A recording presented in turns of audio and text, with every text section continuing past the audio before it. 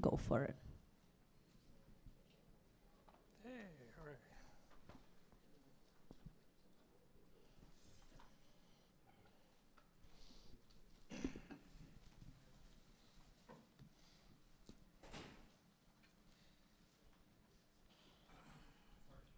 Okay, welcome everybody. Um, my name is Michael Horowitz, and this is Defensive Computing. Um, needless to say, everyone who talks here thinks their topic is important. Um, this is a tweet from Sa- Sam Bowne, um, who was supposed to be here. He's been to Hope many times. Unfortunately, he got COVID. Um, the boring things don't get the headlines, and defensive computing is brutally boring. I will warn you in advance. Um, but of course, I think it's important. Uh, this is the website that gave rise to this talk. Has anybody seen it at all? Um, yeah, it's not particularly popular. It gets about 300 page views a day. Um, the slide deck for this talk is available there if anyone wants to download it. Um, this is me. Um, I am a retired computer nerd. So, for those of you techies out there, I am your future. I am what your future looks like. Um, being retired means I can criticize anything, and I will because I have no skin in the game. And it also means that if I praise anything, I have no relationship to it. I am not selling anything. Um, I've been focused on defensive computing for a long time. I blogged about it for one year with CNET and for nine years at Computer World. Uh, it's a topic I come to naturally. I'm a pessimist, and that's really the big requirement. Uh, the website, the website is intended for non-techies, but I trust me, your techies here will not be bored. Um, also, I need a lot of feedback from techies because nobody knows everything. Here's today's topics. We're not going to get through the stuff at the end. I have 212 slides and 45 minutes. I will be talking very fast and skipping some stuff. But again, the slide deck, if you want it, defensivecomputingchecklist.com. So, why am I here? Um, the big reason is that the tech press fails non techies. And as a retired person, I feel for the non techies. Um, the vast majority of the tech press are what I call art history majors. And I mean that as not so much as an insult, but I mean it as unqualified to cover technology. Not that everyone knows everything. Okay, here's one example of this Molly White, somewhat famous, um, big critic of crypto. There was an article, March 2022, this year, the New York Times. She hated the article. She hated it so much, felt that it was absolutely terrible. She got a whole bunch of her friends together, and look at this paragraph by paragraph. They rebutted this article in the New York Times, basically saying that the reporter had no idea what he was talking about. Um, and that's it's really a shame. The, the, tech press fails us over and over again. This is an example of mine from 2017. Um, this woman is a business reporter for NBC, and I saw her on the news, and she said, Oh, if you install this web browser extension, you can save 50 cents every time you buy toothpaste. It'll find you great coupons. Well, here's the web browser extension she suggested that you install. As you can see, it can read and change all your data on all your websites. Jesus Christ. To save 25 cents when you're buying toothpaste? Really, that's what I meant here. You don't take computer advice from a business reporter any more than you would trust me when it's time to buy a gold ETF. Um, so there is some rare good news. A lot of this is bad news. Here's some good news. This is some drugstore. I don't know where it is. Um, zooming in, trying to warn people about gift card scams. Some good news. Okay, if you part of defensive computing is privacy. If you're seriously into privacy, and by that I mean if you're a member of the Supreme Court and you don't want people firebombing your house, Michael Bazzell is the kind of guy you would go to. He has a website, he has a podcast, he just started a magazine, far more into secure privacy than I am. This is just a heads up for anyone who really cares about privacy. Uh, a couple things, I do listen to his podcast. Um, I had no idea you could use Apple devices without an Apple ID. Um, he did a whole podcast about how Mac OS spies on you and all the domains he uses firewall to block. Um, professional grade router, always connected to a VPN. Of course, none of his clients can use either Android or iOS. He likes Graphene OS. Um, he's not really a techie, so his VPN recommendations are kind of arguable, but just a heads up. Now, the flip side of extreme privacy is extreme openness. So, why would you put on your phones your most important information, The most private information? Well, here you go iPhone medical emergency. I know probably a lot of you are young, you'll never have a medical emergency for another 40 years. Um, does anybody do this? Anybody with an iPhone have put a medic- medical, medical stuff? And uh, very few. um, you know, if you fall over, you're unconscious. This could be really important. Uh, the point is that anyone who gets your phone can find this information without knowing any passwords at all. And of course, Android has the exact same thing. I have a note to myself that I got to put my blood type in there. I'm an Android person. Um, so here, you're making like if you're married, you put your spouse's name and phone number there. You're making some information brutally public, and for many of us, is the right thing to do. Um, here's another thing: the Apple lock screen, Android lock screen. This is my phone. I will show you. Well, I can't show you. It's but has anybody used the Android lock screen, put a message on the bottom of it? Uh, where am I? I'm timing myself so I don't go over. It, it says on the very bottom right hand corner, if found, email so and so. That email address is automatically forwarded to my wife and to myself. So if I lose my phone, I have some chance, if an honest person finds it, that they can email me, even though they can't unlock the phone. Am I the only person here that do, does this? Uh, one, oh, it's a big room. It's hard for me to scan. All right, there's about five or six people that do it. Always remember, and this is what the tech press never ever says. Always remember, this is for the non techies. I know the techies out there are going to say you can figure out who sent you an email message. Um, I have no idea to how to figure out who really sent a text message. And certainly when you get a phone call, there's no chance in hell of figuring out who's really calling. So, I, I mean, I wanted to plaster this on the walls here, but opted not to. Um, tech press, this looks good. Planned Parenthood, website spies on you. Okay, well, thank you very much.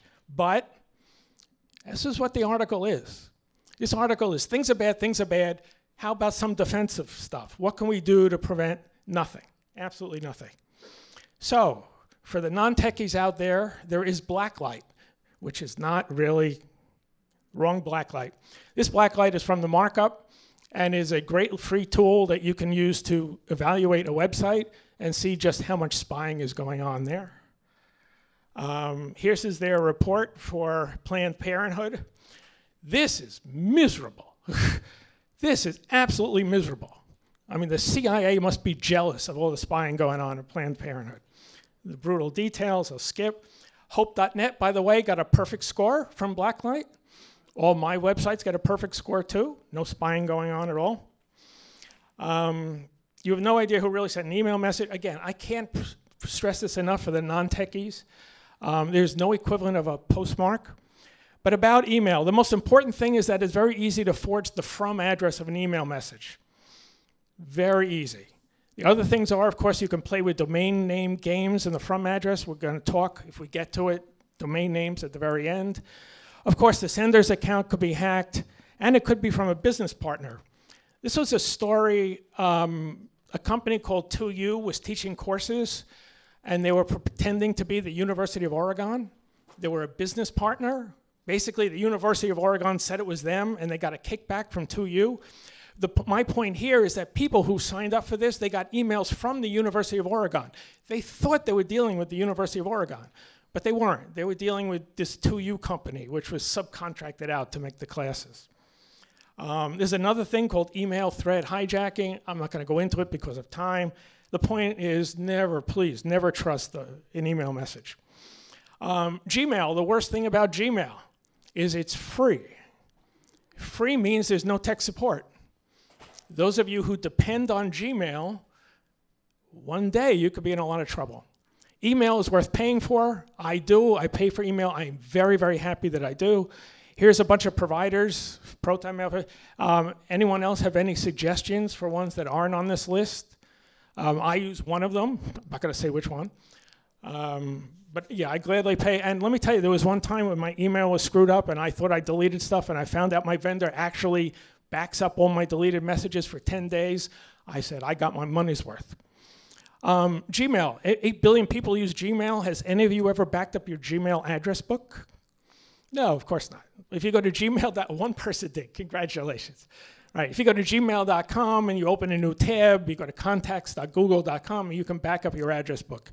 Nothing like having, having it in your hand. All too typical. Another article in the tech press. All these websites submit stuff when you're filling in a form before you submit it. Okay, big deal. Um, USA Today, it was one of the companies mentioned. So you type your first name, you type your last name, and while you're typing your last name, they've already sucked up your first name. That's the point of the article. But again, no defense. No defense. Chicken little, the sky is falling. So that particular article actually was based on a paper. And lo and behold, that paper had some defenses in it. But the defenses didn't make it to the tech press. And here was one defense don't use Chrome. Are you ever going to see Ars Technica say not to use Chrome? Probably not. Here's another thing in the article they, may, they actually named some of the websites that were doing this nefarious thing. The article never mentioned any websites that were doing this nefarious thing. And the actual paper listed all the spy little uh, trackers, I say spying, tracker websites.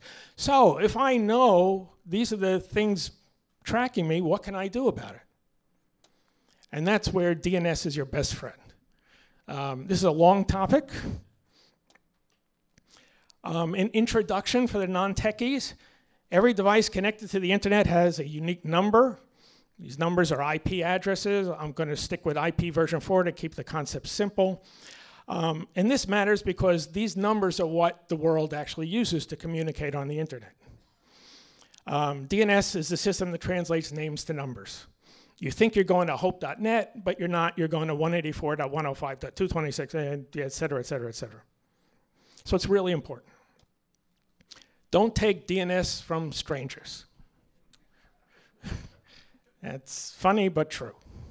Um, the boring stuff about DNS, yada, yada, yada. The interesting stuff about DNS, um, you know, I'm old, I'm retired, so I don't know if Jerry Seinfeld references still go over. Um, but DNS lets you be the master of your domain. Anyone watch Seinfeld in the 90s?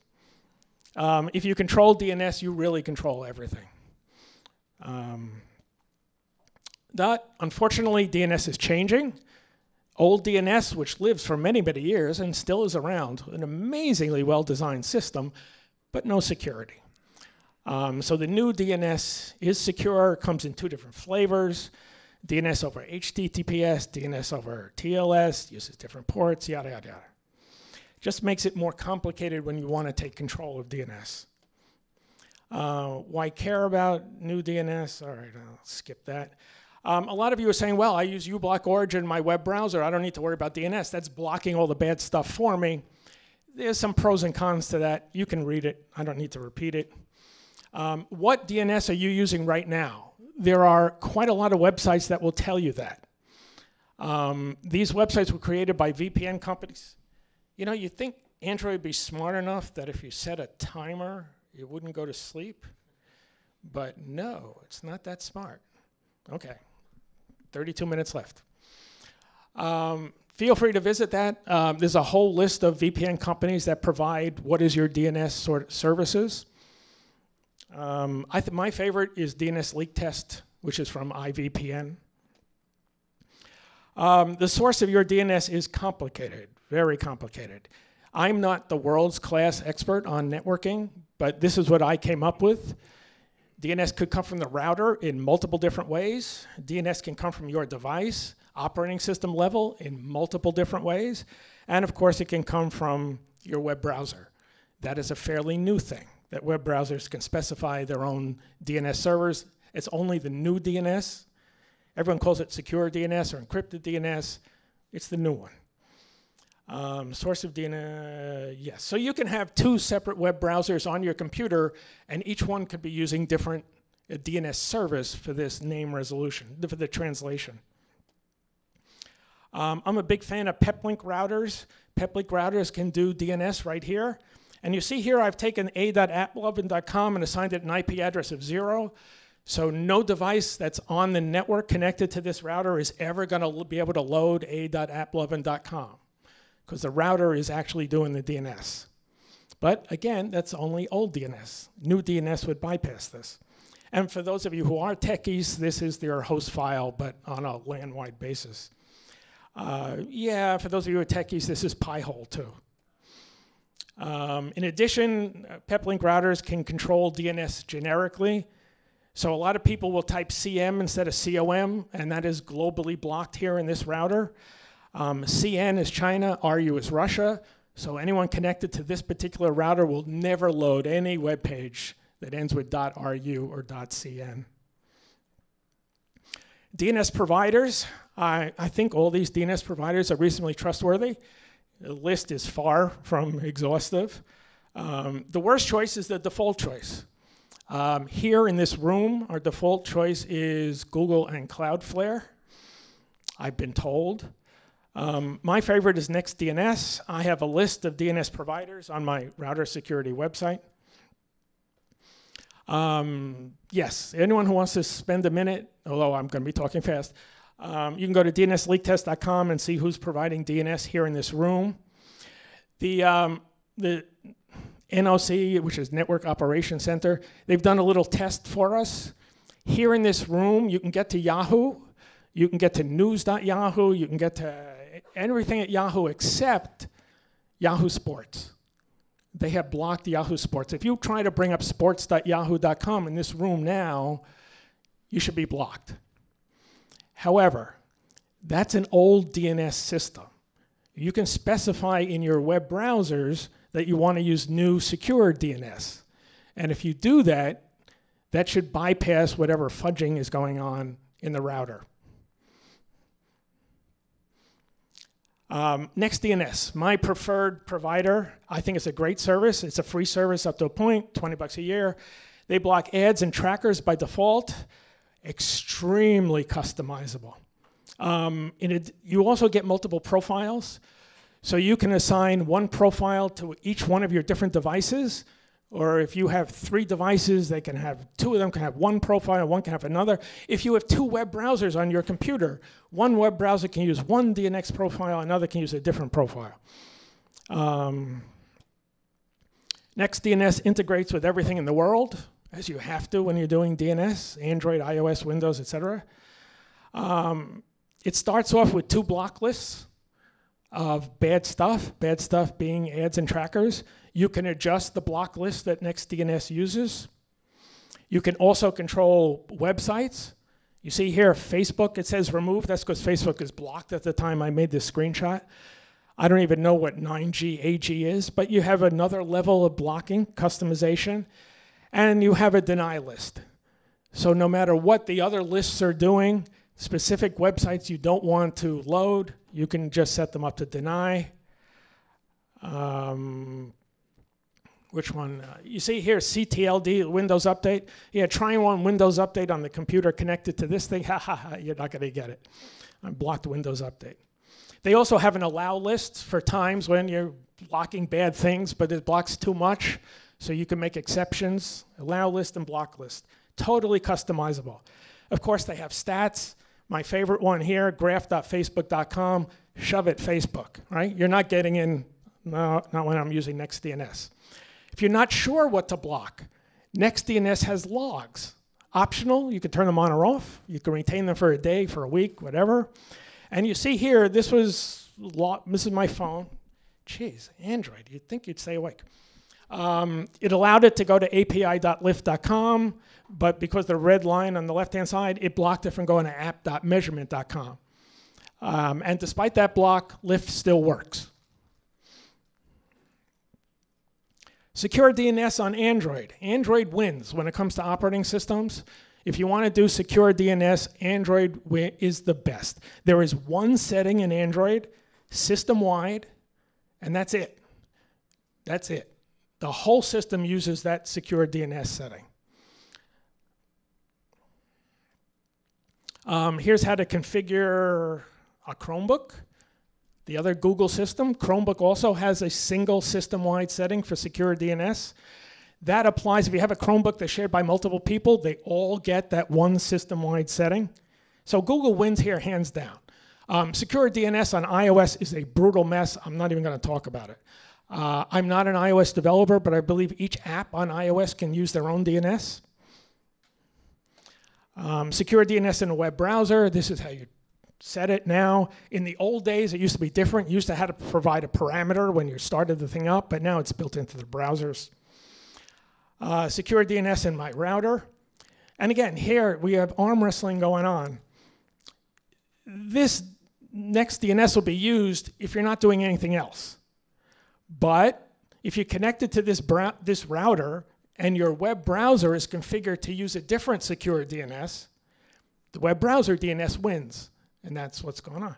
And if you have a system that's connected to a VPN, that wins too. So this looks like it's system-wide. It's not really system-wide. It's very complicated.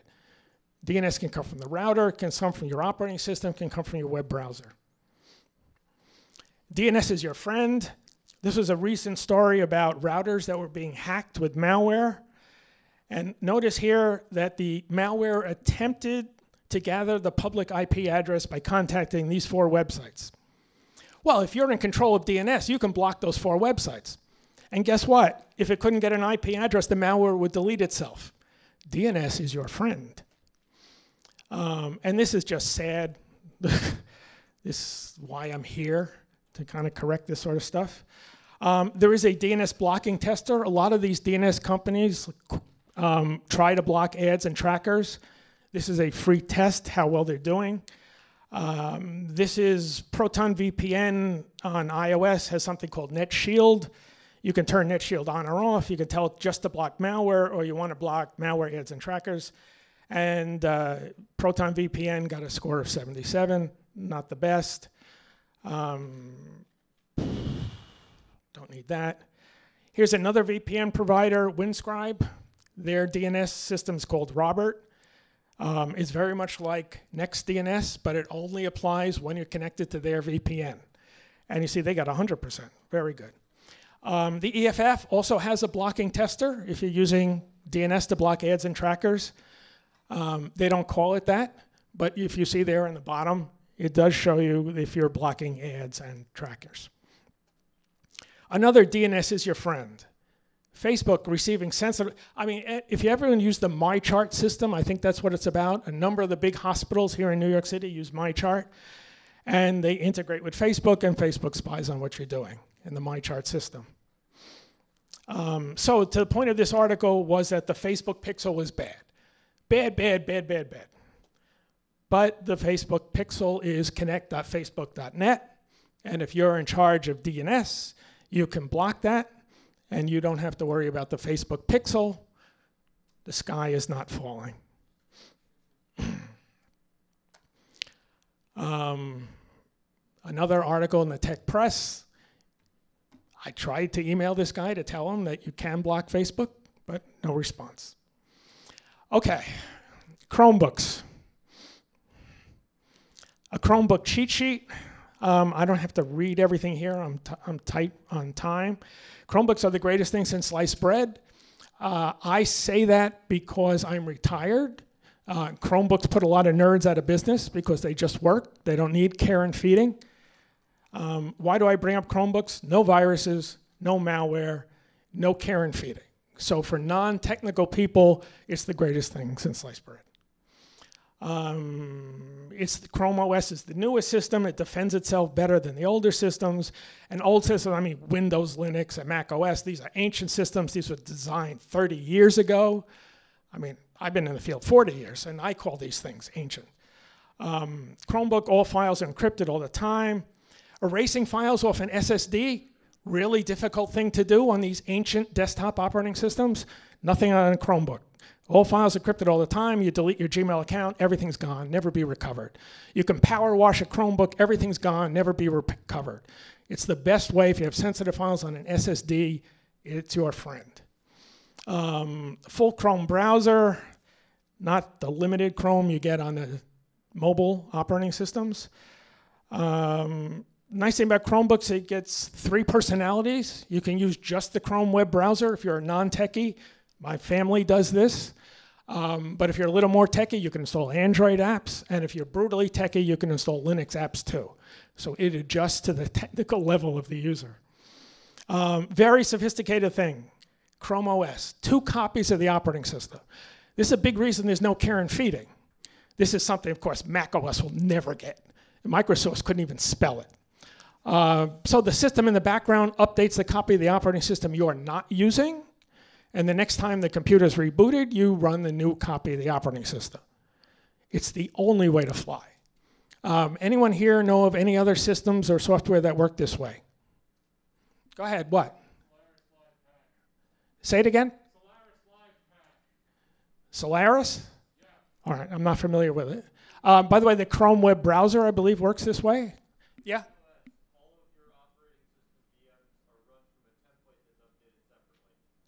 I'm sorry, I can't hear you. Us old people, our hearing goes. I apologize. And you're wearing a mask, so we have two strikes against us. But this is a big reason um, I'm a fan of Peplink routers. Peplink routers do the exact same thing. Uh, they have two copies of the firmware. So you're running version 7, you want to try out version 8 for a day or two, boot to version 8, you're not sure yet, you boot back to version 7.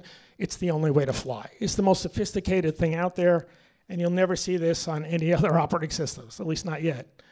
Um, well, the one, the one danger in a Chromebook, of course, is you can be scammed to install a browser extension, such as that Honey browser extension.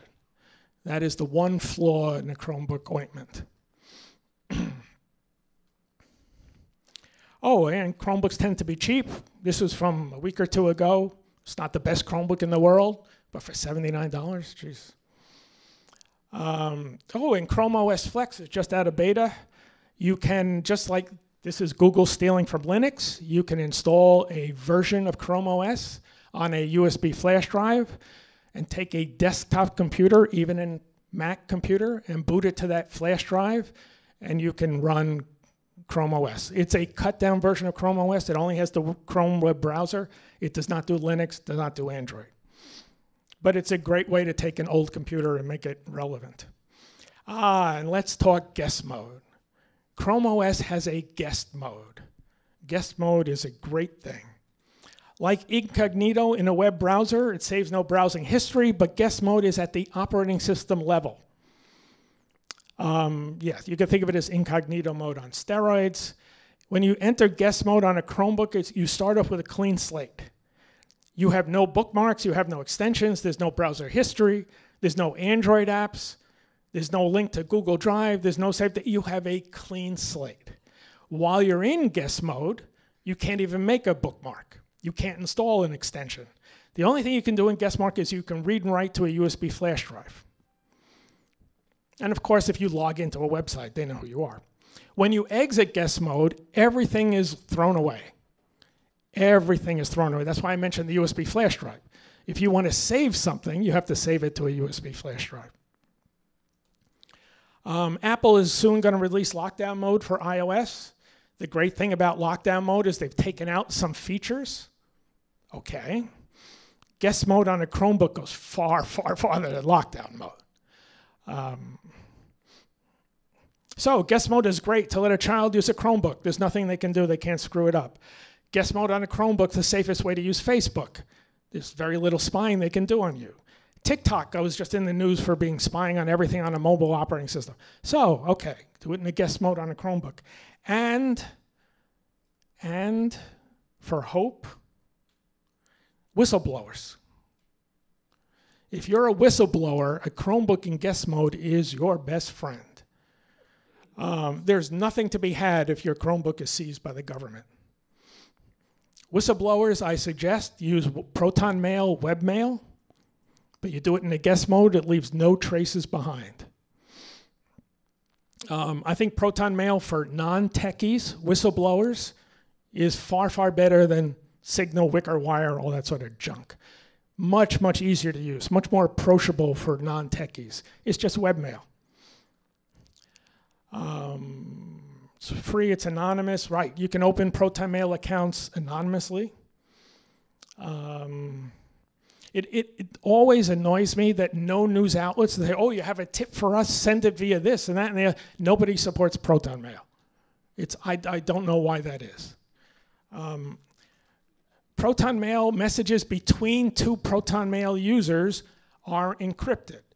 Simple, easy, you couldn't get any simpler, easier, freer, or more anonymous. But exactly what's going on when you send between, from and to a Proton Mail user.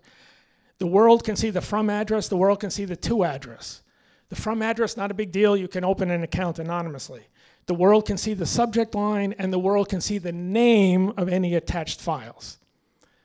But the body of the message and the actual attached files, no one can see that. Even proton mails, they can't see that. I love this picture, by the way. The whistleblower with their dart on their back. Um, okay, what is the first thing you should do with a new USB flash drive? Yes, that's the second thing. The say it again. You know, between the mask and your hearing, I'm sorry. Stick it in the Chromebook in guest mode. That is the only safe thing to do with a USB flash drive. And yes, then format it. Okay, quick takes. That was a couple long topics. Now we're going to real quick, the lightning round, so to speak. Again, I can't repeat this enough for those of you who are non-techies. Um, framework laptops.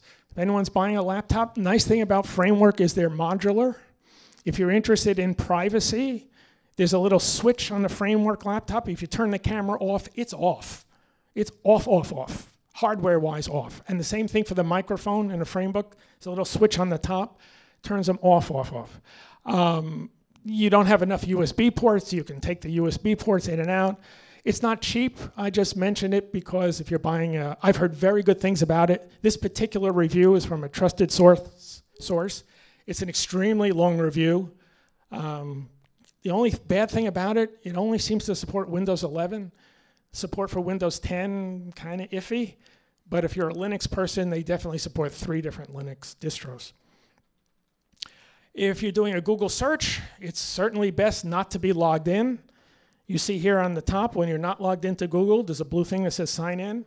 And when you are logged into Google on the bottom, you see your first initial in a circle. So yeah, Google can't spy on you if they don't know who you are. And they really don't like that. um, please, please sign in. Please, please. Um, the point about this article is that iPhones, even when they're off, they're not off.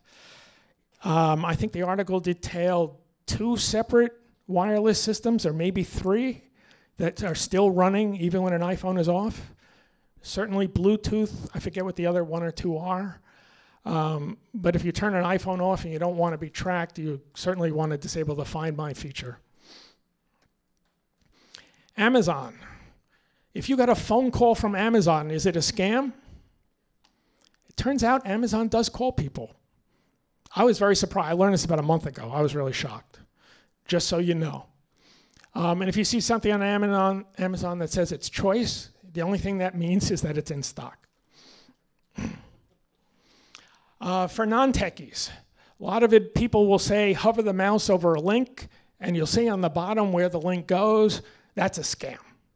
Yeah, I'm no coding expert on this stuff, but in this example, it, it does not go to somegoodplace.com uh, I blogged in this particular blog two or three separate ways that that can be made to go somewhere you don't think it's going. So for non-techies, just realize that's useless. Hovering the mouse over the link does not tell you where you're going. Um, if you have a short link and you want to know where it's going, there are a number of websites that will expand the link for you. I'm being safe on public Wi-Fi, like in this very room. Um, a couple dull and boring things, of course, never do your banking on it. Of course, if you're on an iPhone, turn off AirDrop. Don't ever use Windows. If you've ever evaluated the firewall in Windows, it's like Swiss cheese. Um, some interesting things, though. Um, evil twin networks. If I was a bad guy, I'd make, what's the network here? Something secure? Hope secure you know, there's nothing to stop someone here with a little technical skill from making their own Hope Secure network, and you'd log on to that. As far as I know, there's really no defense against that. Um, of course, you're on iOS. A recent thing in iOS is it tells you which apps are allowed to scan the local network. I forget if that was version 14 or 15 that came in. Um, use a Chromebook on a public Wi-Fi. And of course, when you're done, tell the devices to forget the network so you don't. But here's the good stuff. All discussions about VPNs focus on the internet, fully on the internet. The LAN is a very dangerous place. This picture here is actually from Hope at the uh, hotel. And big question is, do you trust all those people? Because you're sharing a network with all those people. There's an attribute of a Wi-Fi network known as layer level two isolation, or is it layer two isolation? I think I made a typo. Uh, it's layer two, sorry. Um, what this controls is whether you all can see each other. If you scan the local network, are you, are you gonna see his computer and you see his computer? Um, I tested this a little while ago and it is not being used here. So if you're connected to this network, realize that all these bad guys who are sharing the network with you. Um, I saw this at Lincoln Center. A few years ago, I spoke at some other conference and they didn't have it enabled. So you have to take this upon yourself to protect the LAN side. And it turns out that a small number of VPNs actually have this option. Uh, if you're using Mullvad, this is Mullvad on Windows. You see local network sharing, turn it on or off. I actually tested that one, it works very well. Um, iVPN has it on a multiple operating systems. Well, they give it different names, it's kind of annoying. Um, Windscribe has it, they call it allow LAN traffic. I'm not 100% sure it works on Windscribe. But again, it's not just you have to test the software, you have to test it on whatever operating system you're using. OVPN supports it, Proton VPN supports it, at least on some operating systems. Um, but if you're going to be on public Wi-Fi, it's certainly something you want from your VPN. And the other safe way to be on public Wi-Fi is to use a travel router. In this case, the router connects to the public Wi-Fi networks and you connect to the router. The outside world, all they see is the router. They never see you at all. Um, in this picture, this is from a company called GL-iNet. I've never used one of their routers. They sell a lot of very small travel routers. Um,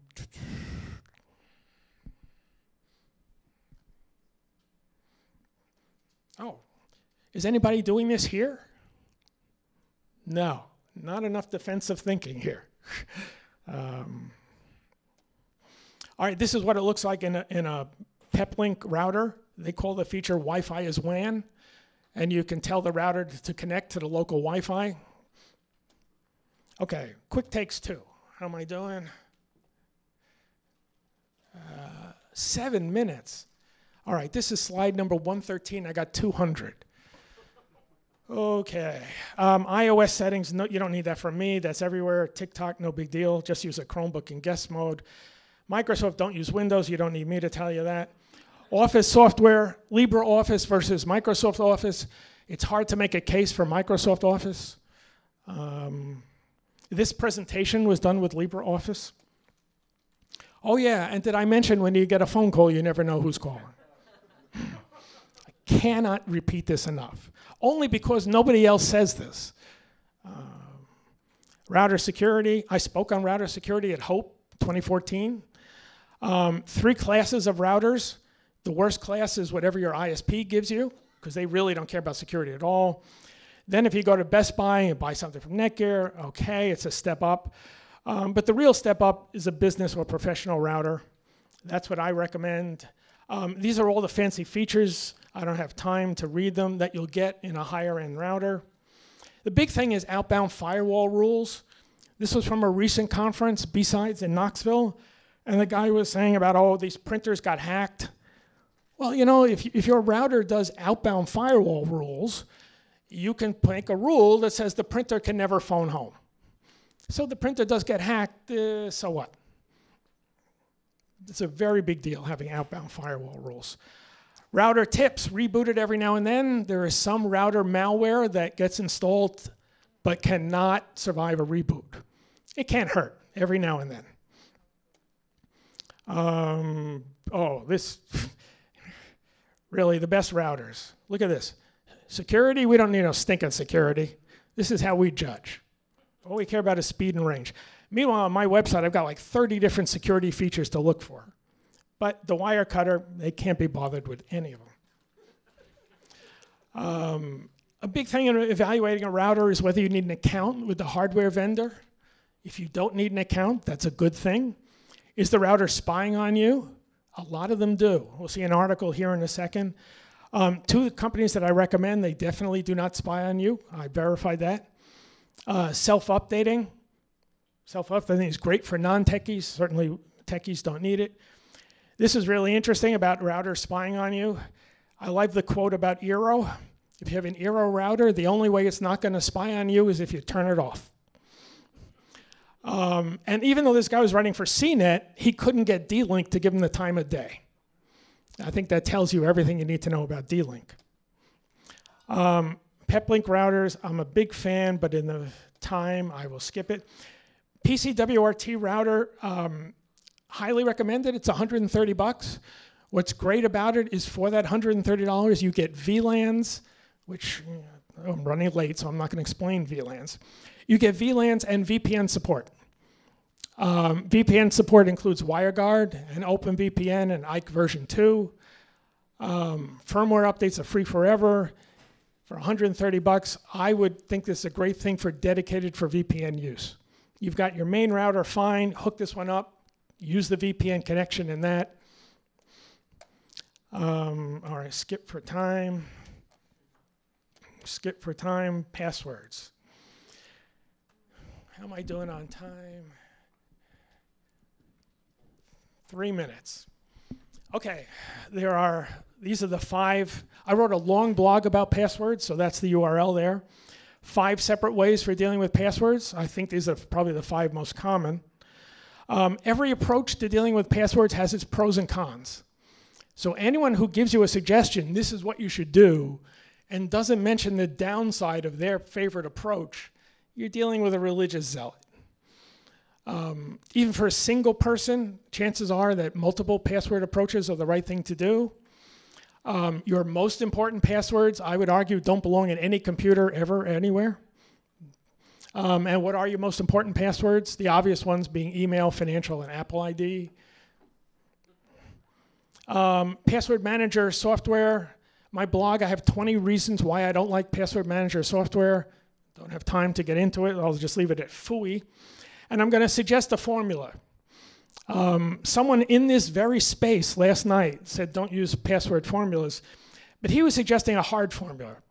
A hard formula is you give it an input, you know exactly what the output is. That's not what I'm suggesting here at all.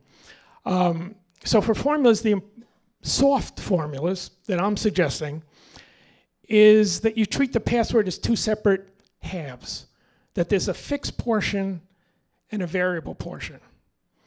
The fixed portion, if you use it over and over and over, you're never going to forget it. And the variable, variable portion can be something that's for you very easy to remember. A uh, simple example, I own a whole bunch of ThinkPad laptops. They all have different passwords. They all start with tulips, um, and then they have a model number. So if I walk up to my T480 ThinkPad, I know it's tulips T480. Very simple little formula. Of course, it's only for a few Here's a, if you're a New York Yankee fan, consider putting Babe Ruth at both ends of your password and then just have a variable thing in the middle. Um, if you're in the US and you pay your taxes to the IRS and the word bleeding comes to you when you think of the IRS, there's your password, Babe Bleeding Ruth. You'll never forget the Babe Ruth part. That'll be burned into your brain very, very quickly. Um, think of Amazon, you think of Jungle, there's your password.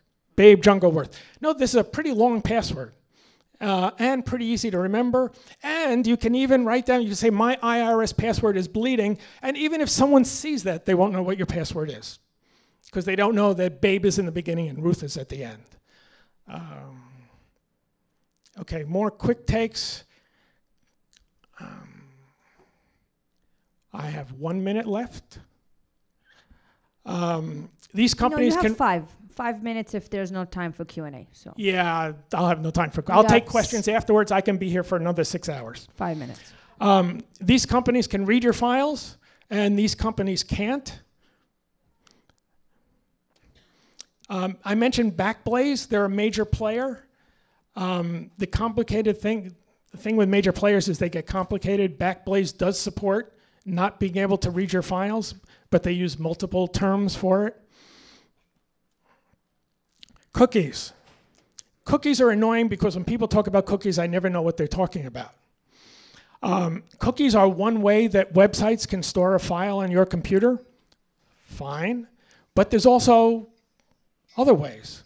There's also local storage, file system, cache storage, database storage. So when someone says cookies, are they only talking about cookies are they also talking about file system storage and cache storage and all these other types?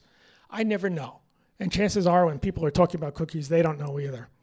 Oh, and by the way, when you get a text message, you never know who sent it. Um, a second phone number. I, this is something I've done. I've been very happy with it. Um, I have a second phone number with a company called TextNow. I pay $3 a month for it. It's a Wi Fi only phone number, so it's also an app. So I can install it on multiple devices. If I lose one device, it's no big deal. And if that device is offline, I'm not getting any phone calls.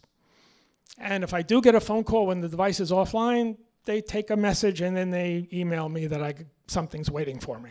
I mean, they take a voice message, an actual recording.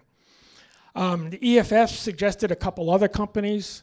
Uh, I've been happy with TextNow. I'm not suggesting it's the greatest thing in the world, but having having a second sacrificial lamb phone number, uh, I've been very happy with it. It's like three days after I got this, I went to some museum in the wintertime and I had to check my coat. And to check my coat, they wanted my phone number. And I said, I made the right decision because I had a sacrificial phone number to give them. VPNs is a big topic. Uh, I've got a couple minutes. VPNs provide three things. Um, these are the three things. Uh, do you need a VPN? Okay. The big thing about VPNs, I will skip to because I'm only down to a couple minutes. VPNs on iOS. VPNs on iOS. If you look at this screen, you'll see that two places it says you're connected to a VPN and two places you're not. Who the hell? Who the hell came up with this? Really?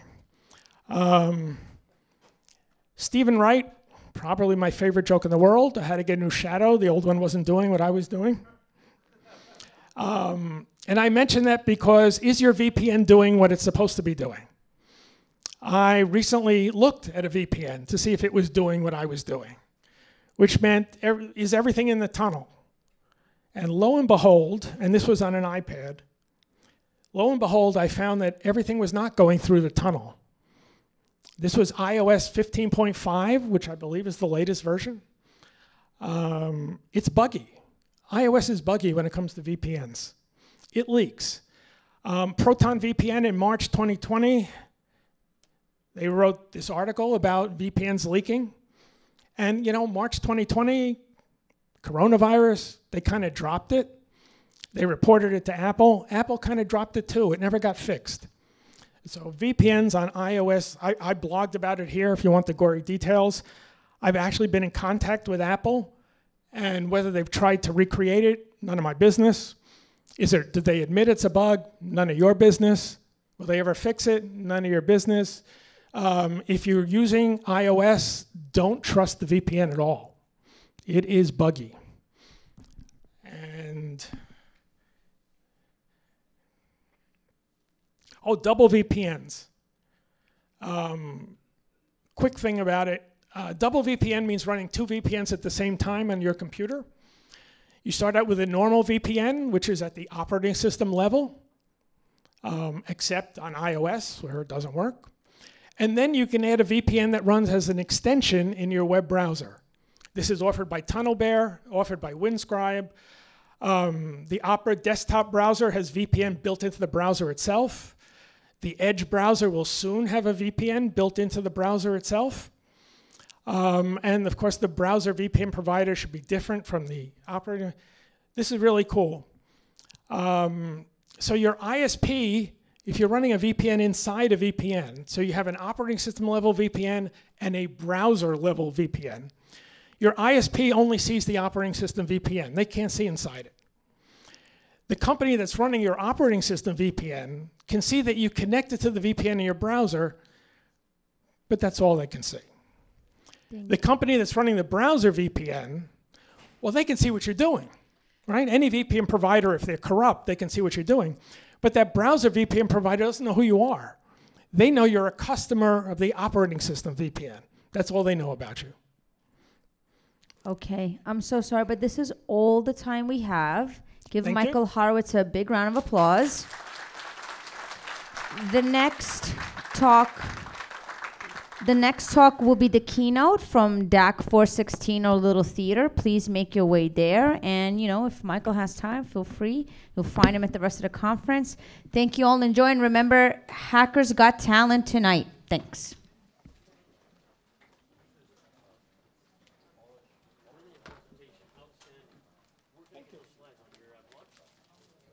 It's on the website. Defensive computing checklist. Yeah.